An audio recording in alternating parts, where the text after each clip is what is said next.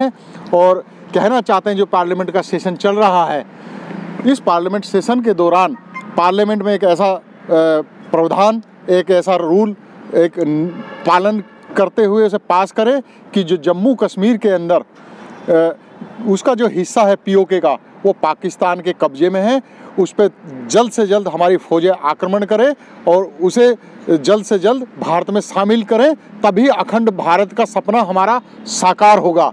तब तक पीओके को हम लोग नहीं लेंगे। हमारा अखंड भारत का जो सपना है, अधूरा रहेगा तब तक। जल्द से जल्द पीओके भारत के अंदर होना चाहिए, क्योंकि पीओके भारत का अभिन्न अंग है। और जो महबूबा मुफ्ती और फारूक अब्दुल्ला भारत के अंदर जो अलगावादी सोच पैदा कर रहे हैं, जनता को जम्मू कश्मीर की जनता को गुमराह कर रहे हैं, और बार बार 370 आर्टिकल 35 ए की बात करते हैं, गुजरे जमाने की बात है, वो कभी नहीं आ सकता। मुंगेरी लाल के सपने देखना बंद करें, और हम, हमारा एक ही स्टैंड है कि अब ये धारा तीन सौ कभी नहीं आने वाली, और अगर उन्हें परहेज है, ज़्यादा यहाँ उनका दम घुट रहा है तो पाकिस्तान चले जाए।